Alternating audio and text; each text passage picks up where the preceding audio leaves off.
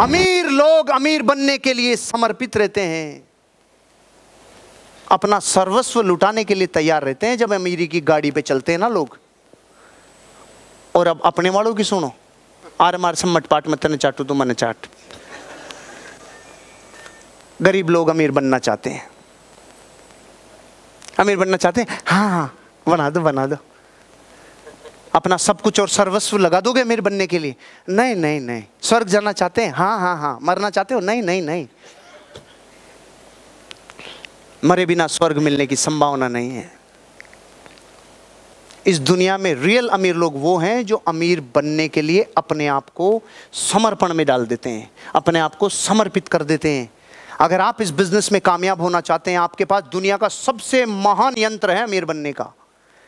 बाहर की दुनिया में जब मैं ये ट्रेनिंग बताता हूँ, उन लोगों के किसी न किसी बंदिशों में उनका बिज़नेस होता है, उनकी ज़िंदगी में उनका जो रिसोर्स होता है, वो लाइफ में कहीं ना कहीं ऐसा है जो उन्हीं के ऊपर डिपेंडेंट है। आप और हम लोग इतने बड़े सोर्स के ऊपर चल रहे हैं, जो दुनिया में आपको कभी भी नेटवर्क का मालिक बना के नेटवर्थ का मालिक बना सकता है। आप इतने बड़े भारी बिज़नेस में हो, आपको तो अमीरी जल्दी मिलेगी, लेकिन समर्पण चाहिए समर्पण चाहिए। समर्पण चाहिए। इस बिज़नेस के लिए जो सिस्टम आपको सिखाया जा रहा है, ईमानदारी से आप अपने आप को उस सिस्टम के हवाले करो। आपका बिज़नेस और आपकी ज़िंदगी में आपकी ग्रोथ बहुत तेज़ी से होगी। माइंड का एक्शन क्या कह रहा है? इस घटना से क्या शिक्षा मिलती है? हमारा माइंड इसके ऊपर क्या एक्शन लेना चाहता है? वो कहता है, सबसे पहले साफ़ साफ़ बताओ आप अमीर बनना क्यों चाहते हो? भारी प्रश्न है, आप तक। और अब मैं पहुँच रहा हूँ, आप तक। पूरा पीछे तक आ रहा हूँ। तैयारी कर लो, दो सेकंड का टाइम है सोचने के लिए। साफ़ साफ़ पता कर लो, आप अमीर क्यों बनना चाहते हो? अगर मैं एक सेकंड का भी आपको टाइम नहीं दूँ ना तो आप में से 90 परसेंट लोगों के पास आंसर ही नहीं है। आप साहब, वो क्या, वो अपलाइन कह रहा था भाई अमीर बनना चाहते हैं, इसलिए मैं भी अमीर बनना चाह रहा हूँ साहब। आपका समय शुरू होता है अब। स्पष्ट बताओ, क्या वजह है जिससे आप अमीर बनना चाहते हो? Yes yes.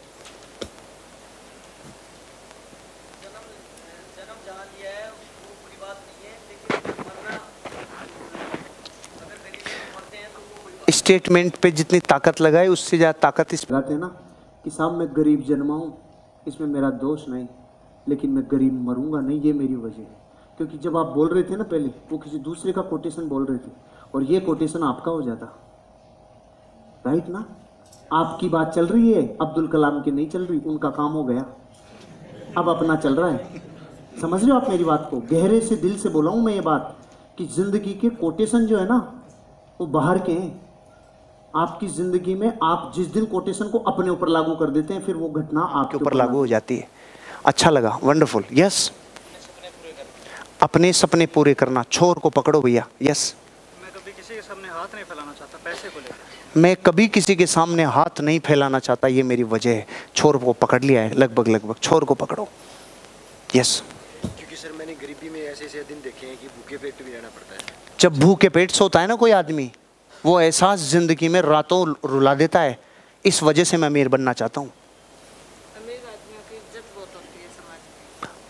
इसको पता है आपको कैसा कहना चाहिए? इससे अपने को ज़्यादा फ़ायदा नहीं होगा अपने को ज़्यादा फ़ायदा पता है किससे होगा? जितनी हमारी बेइज्जती की है ना एक दिन मैं वो इज़्ज़त वापस कमा के रहूँगी। ये अपना है ये अपना है। बाकी का कोटेशन होता है। आप मेरी बात को समझ रहे हो? दोनों लोगों की बात को मैं जब बात कर रहा हूँ तो आप मेरी बात को समझ रहे हो? दरअसल क्या ज्ञान बहुत पिला लिया? अरे, दूसरों की बातें बहुत हो गई रे। अरे, खुद को एक्सरे में डालो। इंजेक्शन खुद के लगाना पड़ेगा, बुखार होगी तो। पत्नी के इंजेक्शन लगवाओ और आप ठीक हो जाओ, ऐसा पोजीशन नहीं है। दरअसल मैं चाह रहा हूँ, आप जिस दर्द को अभी पाल नहीं पा रहे हो ना, वो दर्द बताओ। घातक मूवी याद है? अरे, अमरीश पुरी ने बोला नहीं था, बेटा, काशी गुस्से को पाल रहे तू। काशी ने जिस दिन गुस्सा पाला, कात्या को खत्म कर दिया। अपन क्या करते हैं? डायलॉगों में ज़िंदगी जीते हैं। डायलॉगों में नहीं वास्तविकता में ज़िंदगी जियो। अपने ऊपर लगाओ सारे फीचर्स क्योंकि यहाँ बात चल रही है। आप अमीर क्यों बनना चाहते हो? आपका दर्द बताओ। यस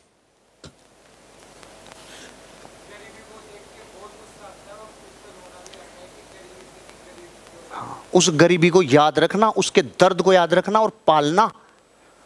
तब अमीरी आएगी। अपने पिताजी के लिए। ऐसी जब कोई वजह आती है ना तो उसके पीछे श्रृंखला होती है बातों की। वो सारी यादें याद आती है। एक बेटी को पिता ने पाला होगा, किसके लिए? अपने बच्चे के लिए।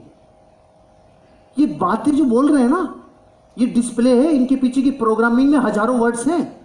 बच्चे के लिए बोल दिया मतलब उससे पहले की बहुत श्रृंखला है। पिता के लिए बोल दिया मतलब उससे पीछे की बहुत कहानियाँ हैं। वो अपने दर्द को सारे दर्द से वापस रिलेट करो।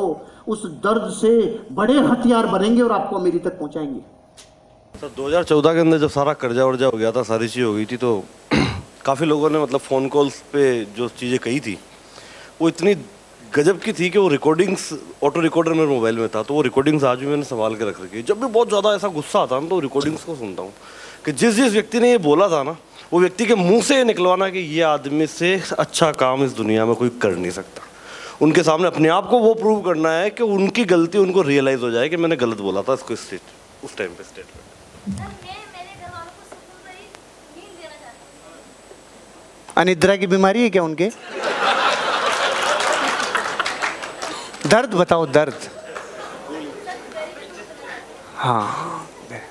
क्योंकि मुहावरे अलग होते हैं और वास्तविक ज़िंदगी अलग होती है। मैं आपको कई बार रिपीट कर चुका हूँ, रावण की नाभि में चोट करनी पड़ेगी, असली दर्द पे बात करो। सब लोगों के दर्द दर्द से अलग होके और एक दिन सुख में बदल जाए, ऐसी शुभकामनाओं के लिए तालियाँ होनी चाहिए एक दूसरे के लिए। जो वजह आपने बताई है, यही वजह ज़िंदगी में या तो आपको अपने लक्ष्य से भटका देगी या यही वजह एक दिन आपको अपनी ज़िंदगी के सारे अचीवमेंट करने के लिए बहुत बड़ा प्लस पॉइंट साबित होगी। बहुत सारे लोग आज अपनी वजह बताना चाह रहे थे, लेकिन अपने पास समय नहीं है। लेकिन फिर भी मैं आपको ये कह रहा हूँ, जो वजह आप यहाँ बता नहीं पाए, उसको कई बार डिक्लेयर करना प्रकृति के सामने। उसकी घोषणा करना, उसका संकल्प करना। जिस दर्द की वजह से आप ये बिज़नेस कर रहे हो, उस दर्द को अपनी पराकाष्ठा तक पहुँचाना, ताकि वो दर्द आपको एक दिन अपनी ज़िंदगी की कामयाबी तक पहुँचाए। आप लोग करेंगे? तैयार हैं आप लोग? आगे बढ़े। ज़िंदगी में अपनों के सामने समर्पण की शक्ति को जगाने की घोषणा कर दो। जब जब हम बोलते हैं और डिक्लेरेशन करते हैं तो ध्यान रखना, आप बॉडी में कंपन होता है। होता है कि नहीं होता है? जब आप और अभी हम सब लोग एक दूसरे से अपने दर्द की बात कर रहे थे तो बॉडी में कंपन हो रहे थे कि नहीं? जब लोग बोल रहे थे, होंठ काँप रहे थे, नथुने काँप रहे थे, आँसू आने की प्रयास हो रहा था। लेकिन ये जो बॉडी के कंपन हैं ये कहते हैं, एक बार घोषणा कर दो अपनों के सामने। मैं आ रहा हूँ और ज़िंदगी में कामयाब होऊँगा। मेरी उम्र थी 20 साल गाड़ी मूछ भी नहीं हुआ करती थी और ज़िंदगी में सेकेंड ईयर में पढ़ने वाला लड़का नेटवर्क मार्केटिंग और डायरेक्ट सेलिंग से अपनी ज़िंदगी की करियर की शुरुआत की। लोग कहते थे भी दाढ़ी मूछ नहीं निकली और इतनी बड़ी बड़ी बातें करते हो। उस टाइम पे डीवाईएसपी जैसे लोगों को प्लान दिखाना बड़े बड़े बिजनेसमैन लोगों को प्लान दिखाना। लोग कहते थे छोटी सी तीस किलो का वज़न नहीं है और इतनी बड़ी बड़ी बातें करते थे ज़िंदगी में ध्यान रखना, एक बार तुम शुरू करो, घोषणा करना और डिक्लेरेशन करना, प्रकृति अपना काम करेगी। और आज कर दिया। प्रकृति ने आज अपना काम कर दिया। जो घोषणाएँ 20 साल की उम्र में की थी, उन घोषणाओं ने 38 साल की उम्र में अपनी ज़िंदगी में अंजाम तक पहुँचा दिया। आज मैं आप लोगों को यही कहना चाहता हूँ, जिस वजह से अमीर बनना चाहते हो, उस वजह को थोड़ा पाल लो, पोस लो और उसकी प्रतिमा बना लो।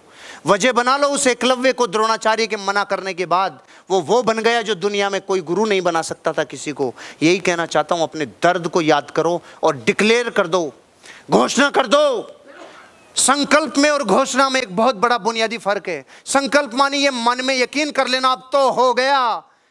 तो ये जो संकल्प हो जाता ना, हो गया, इसमें तो मन में कभी ना कभी कीड़ा कांडी हो जाती है, यार झूठ बोल रहे हैं, पर हुआ तो है ही नहीं अभी। इसलिए पीछे रह जाता है आदमी, इसलिए उसकी तो ताकत नहीं है इस युग में।